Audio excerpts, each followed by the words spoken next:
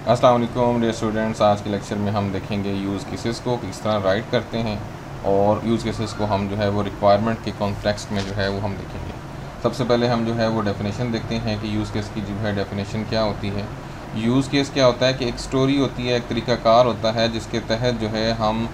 कोई गोल हासिल करने के लिए किसी सिस्टम को यूज़ करते हैं। जब कोई हम जो है वो सिस्टम यूज़ करते हैं और उसका जो मकसद होता है वो कोई स्पेसिफिक जो है वो टारगेट अचीव करना या गोल अचीव करना, उसको हम यूज़ केस कहते हैं। मिसाल के तौर पे हमारा जो मकसद है वो हमने जो है वो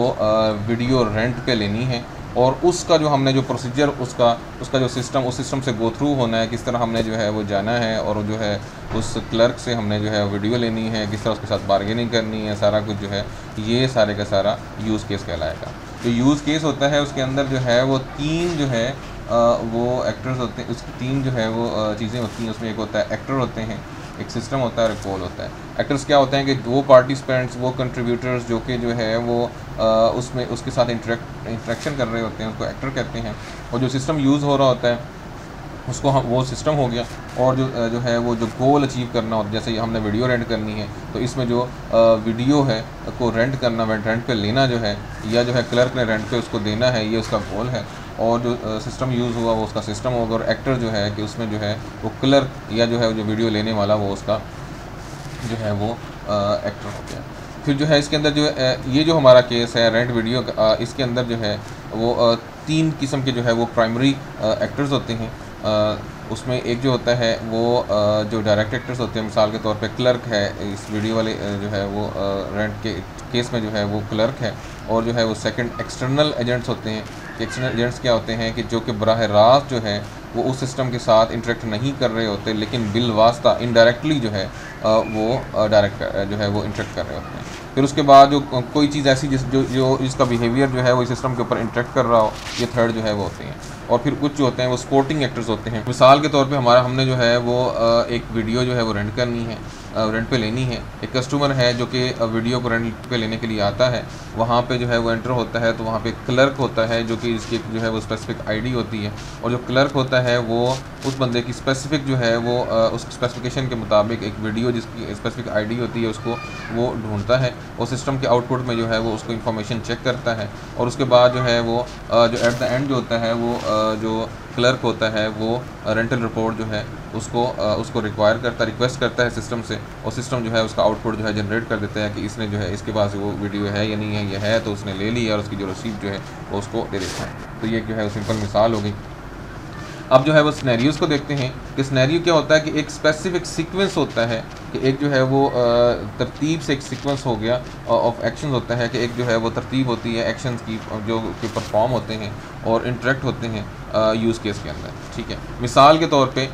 एक पाथ है किसी भी यूज़ केस के अंदर जो है गो थ्रू होने का एक पास है पाथ हो, वो उसकी जो है मिसाल है, मिसाल के तौर पर उसकी भी आगे मिसाल हम कहते हैं कि एक स्नैरियो है कि जो वीडियो है वो रेंट करने के लिए गया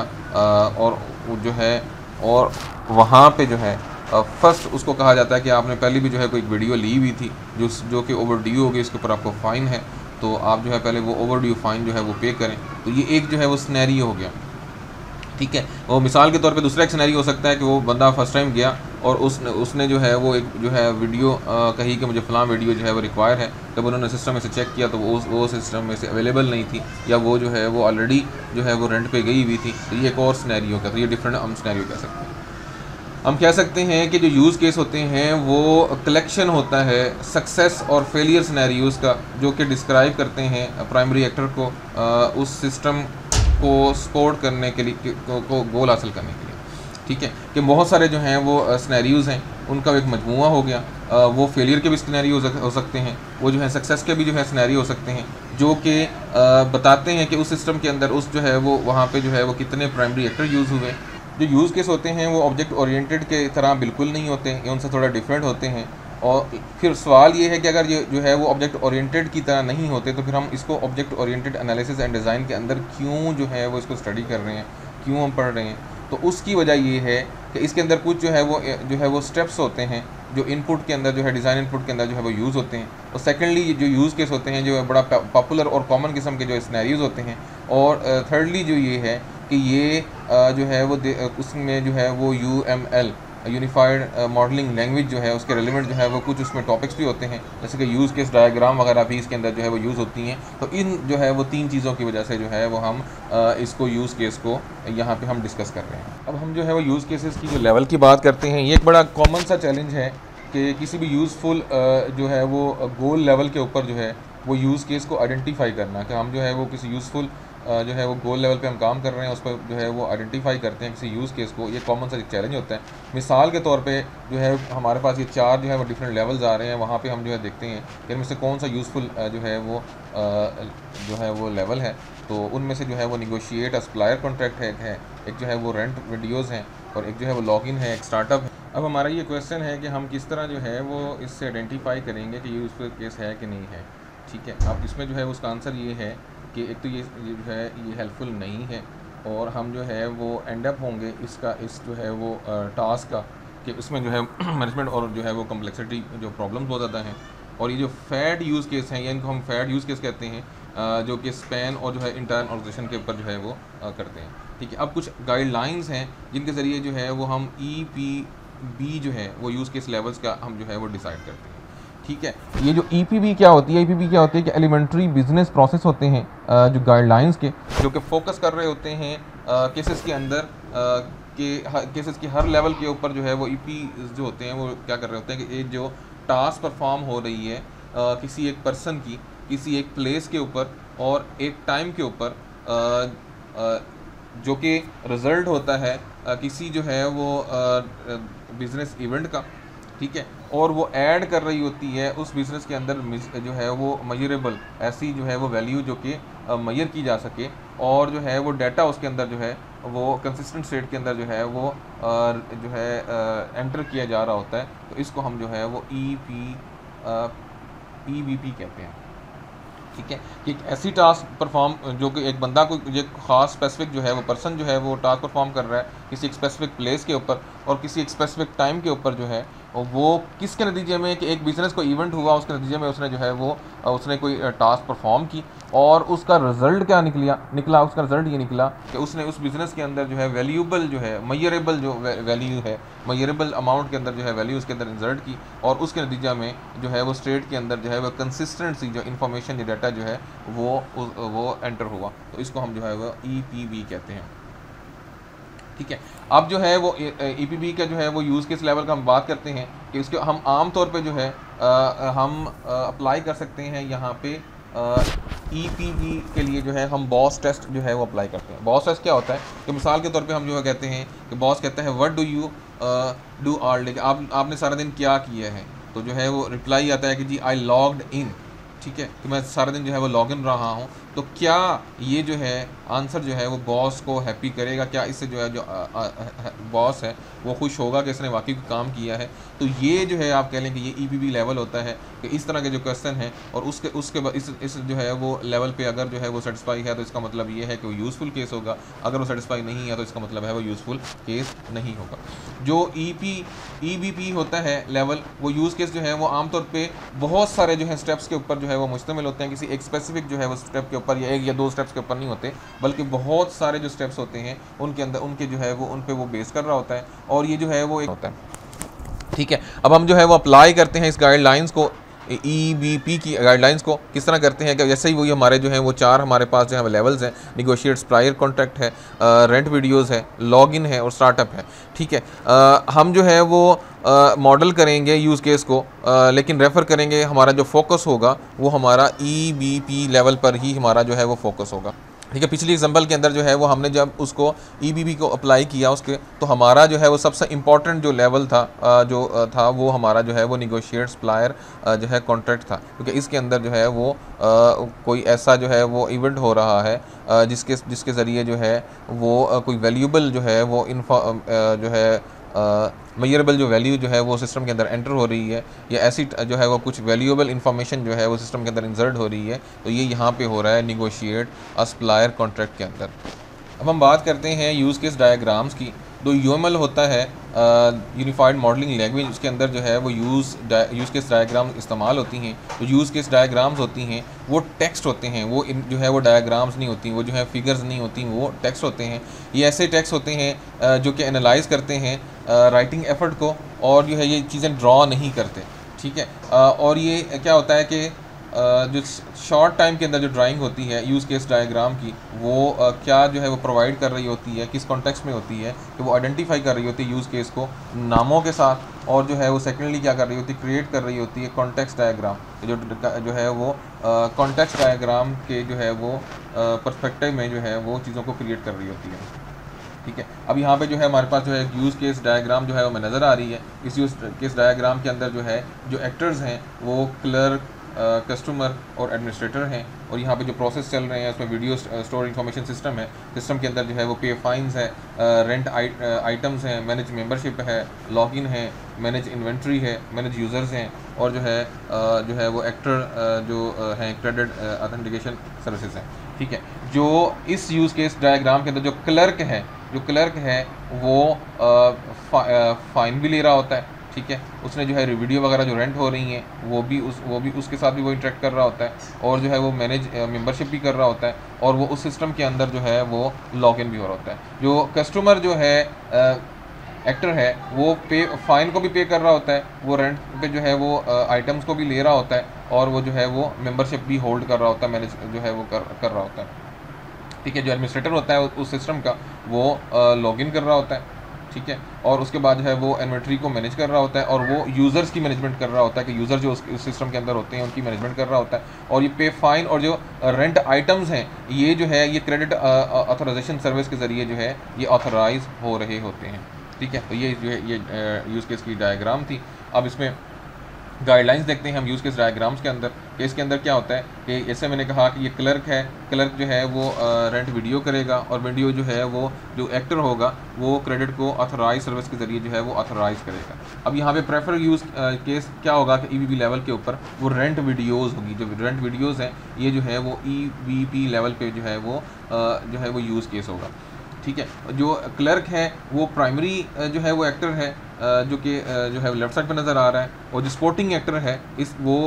जो है क्रेडिट ऑथराइजेशन सर्विस जो प्रोवाइड कर रहा है, वो राइट साइड पे नज़र आ रहा है, ठीक है? ये जो है ये जो क्रेडिट ऑथराइजेशन सर्विस होती है, ये शो कर रहा है कंप्यूटर सिस्टम एक्टर्स को जो कि अल्टरनेट नोटेशन है ह्यूमन एक्टर्स के लिए यूज़ होती है। अभी हम जो है वो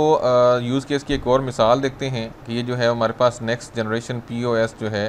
आ, वो पॉइंट ऑफ़ सेल्स जो है आ, वो एक सिस्टम है और उसके अंदर जो है हमारे पास तीन जो है वो चीज़ें यहाँ पे नज़र आ रही हैं। एक तो ये नज़र आ रहा है कि लेफ़्ट साइड पे ये वाला जो पोर्शन है ये प्राइमरी जो है वो एक्टर्स हैं। ये जो पोर्शन नज़र आ रहा है राइट साइड वाला ये सेकेंडरी जो है वो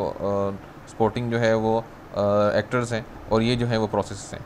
प्राइमरी एक्टर्स के अंदर जो है कस्टमर्स हैं कैशियर है मैनेजर है जो है वो एक्टर, सेल्स एक्टिविटी सिस्टम है और सिस्टम एडमिनिस्ट्रेटर है। और जो सेकेंडरी है, उसके अंदर जो है पेमेंट ऑथराइजेशन सर्विस है जो है वो टैक्स कैलकुलेटर है और जो है वो एक्टिंग जो है वो अकाउंटिंग सिस्टम है और जो है वो एचआर सिस्टम है। ठीक है, जो प्रोसेस हैं सिस्टम के, वो प्रोसेस सेल है, वो जो है वो हैंडल रिटर्न्स है कैश इन है एनालाइज एक्टिविटी है, जो है मैनेज सिक्योरिटी है और जो है वो मैनेज यूज़र्स वगैरह है इसके अंदर। ठीक है? अब इसके अंदर क्या होगा? जो जो कस्टमर्स होगा, वो इन्वॉल्व होगा जो है वो प्रोसेस सेल के साथ और जो है वो हैंडल रिटर्न्स को जो है वो वो के साथ वो जो है वो लिंक होगा, जबकि जो कैशियर होगा, वो प्रोसेस से सेल के साथ हैंडल रिटर्न के साथ, और जो है वो कैश इन के साथ जो है वो वो लिंक होगा, और कैश इन जो है वो एचआर सिस्टम के साथ जो है वो लिंक होगी, और इसी तरह जो प्रोसेस सेल है, वो पेमेंट ऑथराइजेशन सर्विस के साथ टैक्स कैलकुलेटर के साथ, और जो अकाउंटिंग सिस्टम के साथ जो है वो लिंक होगा। जो मैनेजर होगा, वो, जो है वो प्रोसेस सेल्स को भी, के साथ भी लिंक होगा, वो जो है वो हैंडल रिटर्न्स को भी जो है वो वो डील कर रहा होगा। ठीक है, जो एक्टिविटी जो है वो सिस्टम होगा सेल्स एक्टिविटी सिस्टम होगा, वो एनालाइज कर रहा होगा एक्टिविटी को और जो सिस्टम एडमिनिस्ट्रेटर होगा, वो मैनेज कर रहा होगा उस जो है वो सिस्टम की सिक्योरिटी को और यूज़र्स को जो है वो मैनेज कर रहा होगा इसके अंदर। तो ये जो है वो जो है हमें और ये जो जो है कम्युनिकेशन हो रही है ये जो जो लाइंस हैं, ये जो है वो कम्युनिकेशन को शो कर रही हैं और ये जो है, ये सिस्टम की बाउंड्री है और ये जो है वो एक्टर्स हैं। तो इस तरह जो है हम, हमने जो है वो एक और जो है वो टाइप देख ली, एक और जो है वो एग्ज़ाम्पल देख ली यूज़ अभी हम जो रिलेशनशिप देखते हैं यूज़ केस डायग्राम की, कि ये स्टेप को इंसर्ट करने के लिए एक यूज़ केस से दूसरे यूज़ केस में जो है वो स्टेप्स इंसर्ट करने के लिए इसको जो है वो वो यूज़ किया जाता है रिलेशनशिप को। और जो है ये एक वैल्यूबल चीज़ होती है कि जो कि स्टेप्स को इंक्लूड करने के वक्त जो है वो अकर होती है। और ये जो है वो जो जो वो यूज़ केस होते हैं वो जो वो, जो रिकोगनाइजेबल जो है सीक्वेंस होते हैं जो है वो बहुत सारे डिफरेंट जो है वो कॉन्टेक्स्ट में। ठीक है? जैसे यहाँ पे जो है वो एक यू सेलर सेल असिस्टेंट है। वो क्या कर रहा है कि वो टेक कस्टमर्स ऑर्डर्स ले रहा है और उसको वो इंक्लूड कर रहा है आइडेंटिटी कस्टमर के। सेम जो है वो सेल जो है वो रिटर्न गुड्स हैं, फॉल्टी जो गुड्स हैं, उसको जो है वो रिटर्न कर रहा है और उसको भी वो जो है वो इंक्लूड कर रहा है आइडेंटिफाई जो है वो कस्टमर्स के अंदर। तो ये जो है, इस तरह जो है ये रिलेशनशिप है और इस तरह जो ये स्टेप्स हैं डिफरेंट जो कि वो एक यूज़ केस से दूसरे यूज़ केस के मतलब एक यूज़ केस हो गया कि उसने जो है वो कस्टमर्स ऑर्डर लिया और उसको जो है वो उसको जो है इंक्लूड कर दिया आइडेंटिटी कस्टम के अंदर। सेकेंड जो यूज़ केस है, वो उसने जो है वो रिटर्न फॉल्टी गुड्स जो हैं, वो उसने जो है इंक्लूड कर दिया आइडेंटिटी कस्टम के अंदर। ये दो डिफरेंट है। इनका आपस में जो रिलेशनशिप है इसको आ, आ, को हम इसमें स्टडी करते हैं। ये जो रिलेशनशिप होती है यूज़ केस डायग्राम के अंदर ये जो है वो यूज़ केस का जो बिहेवियर होता है जिस पे वो बेस कर रहा होता है उसको मॉडिफाई करने के लिए भी उसको ऑर्डर करने के लिए भी इस्तेमाल होती है। Uh, मतलब ये एक बड़ी वैल्यूबल जो है वो चीज़ हो जाएगी जब जो है वो हम uh, कोई चीज़ ऐड करना चाह रहे हैं आ, जो है वो एक्स्ट्रा चीज़ ऐड करना चाह रहे हैं उस यूज़ केस कि उस फ़्लो के ऊपर जिसके ऊपर वो बेस कर रहा था, उसी फ़्लो के अंदर ही हम जो है वो कुछ एक्स्ट्रा जो है वो ऐड करना चाह रहे हैं। तो ये भी जो है वो रिलेशनशिप का एक जो है वो एक्स्ट्रा चीज़ हो गई। मिसाल के तौर पे मतलब यहाँ पे एक डायग्राम है, यहाँ पे सेल असिस्टेंट है तो वो वो कस्टमर ऑर्डर ले रहा है और ऑर्डर लेने के बाद जो है वो उसमें जो है वो आइडेंटिटी कस्टमर जैसे हम पहले कह रहे हैं। हम तो हम उसमें एक चीज़ एक्सटेंड कर देते हैं कि उसमें हम कह देते हैं कि सेल जो है वो कस्टमर स्पेसिफिक प्रोडक्ट तो जो कस्टमर्स के स्पेसिफिक प्रोडक्ट्स हैं, वो भी वो जो है वो वो सेल करना शुरू कर दे। तो ये एक एक्स्ट्रा चीज़ उसके अंदर हो गई। तो अब ये जो रिलेशनशिप है, वो अलाउ करेगी इस फीचर को और जो है वो इससे जो है वो एक नई चीज़ जो है वो आ जाएगी और एक नया फीचर उसमें ऐड हो जाएगा। तो ये बड़ा जो है इंपॉर्टेंट हम अल्ट्रेशन की एक एग्जांपल देखते हैं कि हमारे पास जो एक सिस्टम है जिसमें जो है वो एक्टर जो है वो कस्टमर कस्टमर है और उसके बाद जो है वो दूसरा एक्टर है, वो क्लर्क है, उन दोनों के दरमियान में जो है वो चेकआउट होता है कि मतलब चेकआउट में वो पेमेंट उसमें हो गई मैनेज यूज़र वगैरह हो गई। तो हम इसमें बहुत सारी चीज़ें ये जो, ये हमारा एक पास फ्लो बना हुआ है, जो, जिस पे जो है ये यूज़ केस जो है वो डिपेंड कर रहा है। हम इसके अंदर जो है वो, इस सिस्टम के अंदर जो है वो रिलेशनशिप डाल देते हैं, इसमें कोई चीज़ें एक्स्ट्रा जो है उसके अंदर ऐड कर देते हैं, जैसे हम जो है वो उसमें रिलेशनशिप ऐड कर दी कि वो हेल्प की है, कि वो उसको हेल्प आउट कर सकते हैं, ठीक है? और उसमें जो है वो हमने जो क्लर्क है, उसके उसके साथ जो है वो एक्टर है पेमेंट सर्विस का, वो हम उसके अंदर ऐड कर देते हैं। तो हम डिफरेंट चीज़ें अगर उसके अंदर हम ऐड कर देते हैं तो ऐड करने के ऊपर मतलब उन चीज़ों के अंदर हम ऐड कर रहे हैं जिसकी बेस पे वो सारा फ्लो हो रहा था, वो सारा का सारा यूज़ केस जो है प्रोसेस कर रहा था। हम उसको हमने चेंज कर दिया या उसके अंदर अल्ट्रेशन कर दी, उसके अंदर तब्दीली कर दी तो ये भी जो है वो रिलेशनशिप जो है वो उसका एक फ़ीचर होता है, जो कि बड़ा यूज़फुल